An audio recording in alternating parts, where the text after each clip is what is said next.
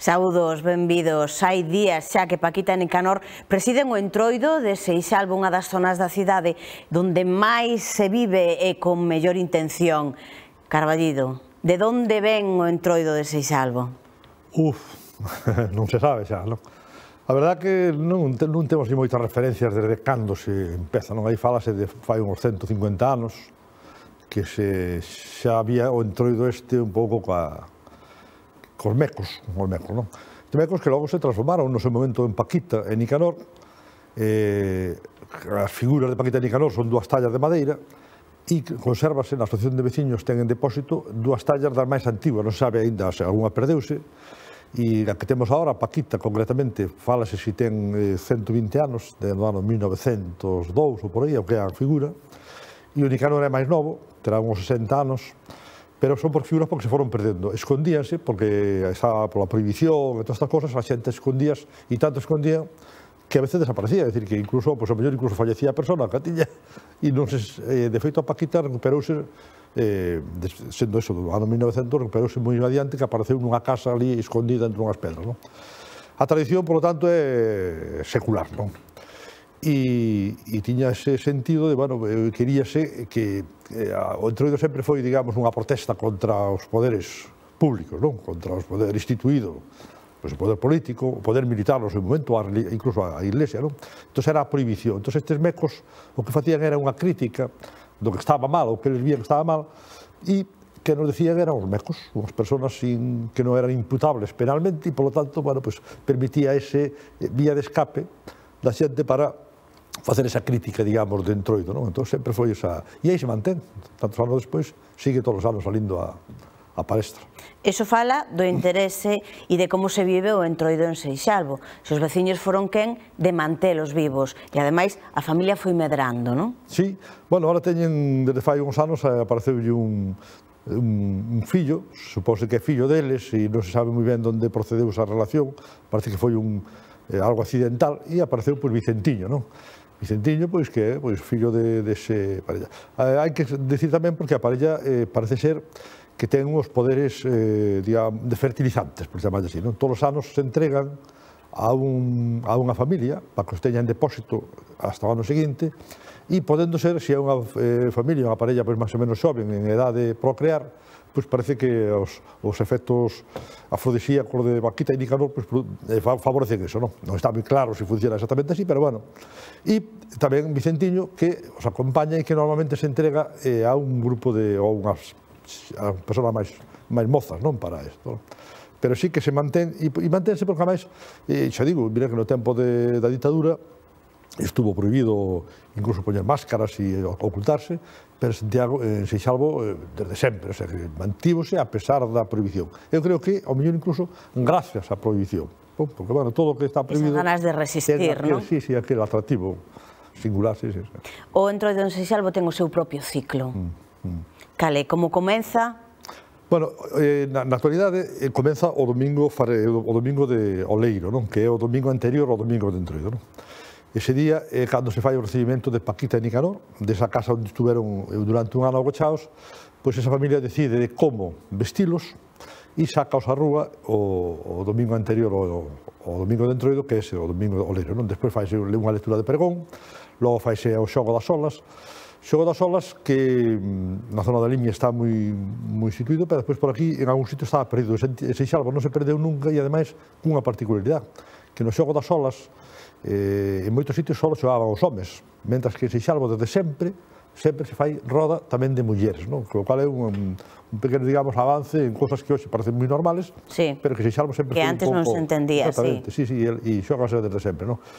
Eh, entón, empeza, o ciclo empeza aí, no domingo. É certo que antes xa había o, o domingo fareleiro, o día anterior, o domingo anterior, que en vez de botar fariña utilizaban cinza, pa, porque a fariña era cara um, e había que alimentarse, non? entonces era un dispendio. Entón a cinza das cociñas e das lareiras utilizabas. Eso perdeuse o, da, o faraleiro xa non se fai, faise o oleiro, logo faise o venres, eh, o, eh, que o propio venres anterior ao domingo, eh, desde fai uns anos faise o, o, o venres da rapazada, na que veñen os rapaces e as rapazas do Colexio de, Público de Seixalvo, eh, desde fai varios anos veñen por, a desfilar pola vila, non? E faise unha cosa preciosa, non? Porque unha vila tan bonita, con esas rúas empedradas e esas casas de repente velo con 200 e pico rapaces e rapazas vestidos, eh, bueno, cada un cos seus disfraces, coloristas e tal, é precioso, non? Con algo de música, e iso é o propio vernes anterior. Logo ven o día o domingo, que é un día de eh, normalmente faise unha gran, un gran cocido bacanal, unha paparota, digamos,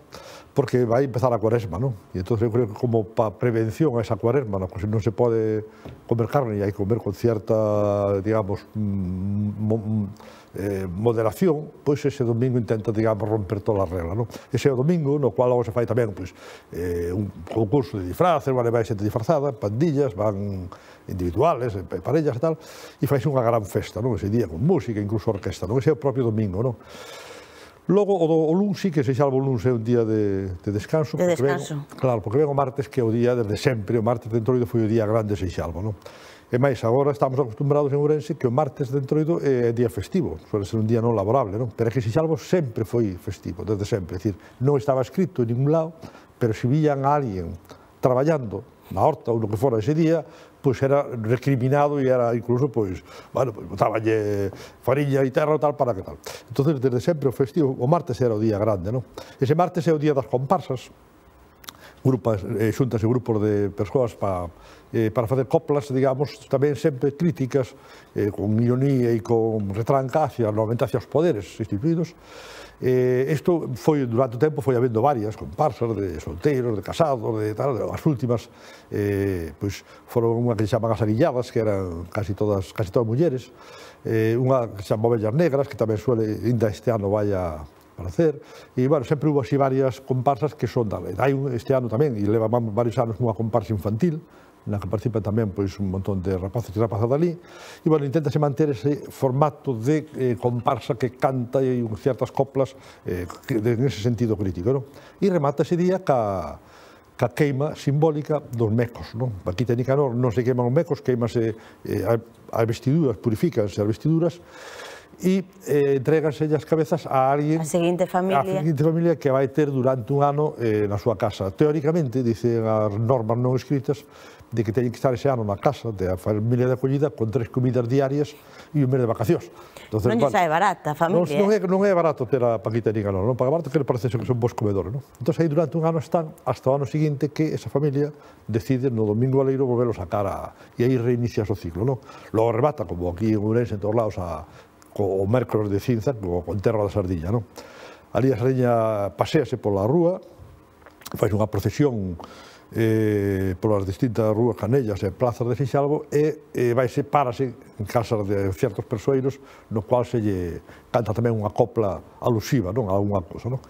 E non se queima, senón que unha vez, eh, porque somos moi de reciclar e reutilizar, entonces gardas outra vez a sardinha na súa caixa, pero sí que se fai unha sardiñada para degustación da tal, no? Este ano temos unha comisión de festas que se encarga de organizar, porque se hai comisión de festas, fai a comisión de festas o, o organiza todo, non? o cual libera de muitísimo traballo, porque o traballo, bueno, sempre dá a propia asociación de veciños. Asociación de veciños, se si non hai comisión, asume... tema, digamos, eh, asume a organización sempre do entroido, para que non vai... Pero se hai comisión, descargamos moitísimo neles, botamos unha mão no que podamos, pero é certo que con unha comisión como esta, ano máis que moi hiperactiva, vamos ter un entroido que é moi importante moi, e divertido. Notades que cada vez son máis os veciños de Ourense que se achegan a Seixalvo. Quizás porque en Seixalvo se respira un entroido que na cidade é moi difícil que se respire sí. neste momento, mm. o, o entroido tradicional, non? Pero en Seixalvo fostes quen de mantelo.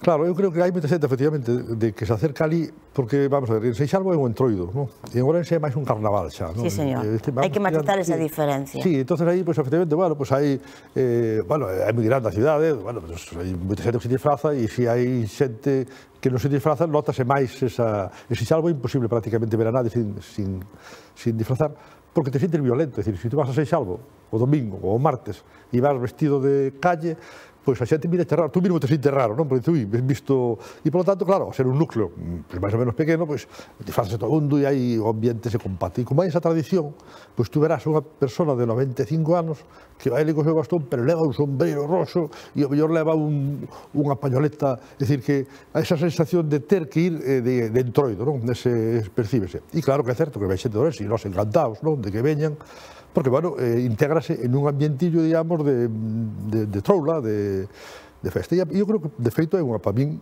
creo que se xa é a festa máis importante desde fai moitos anos, sempre, non? Claro, temos a festa de San Juan, parroquial, estas cousas, que teñen muitísima xente, é atractivo, pero son, é un, un concepto radicalmente distinto, non? Isto é unha cousa, pois, de participación, xa digo, desde o máis pequeniño, o, o, o abuelo máis grande que vai co seu Basta, oi, o camión a mí me gracia sempre, porque vai van solos, o sea, que camión va solo pola rúa, pim, pim, pim, e vai co seu... Pero leva un elemento pero que deixa claro... Un, exactamente, entón, bueno, pois pues, ten ese, ese encanto.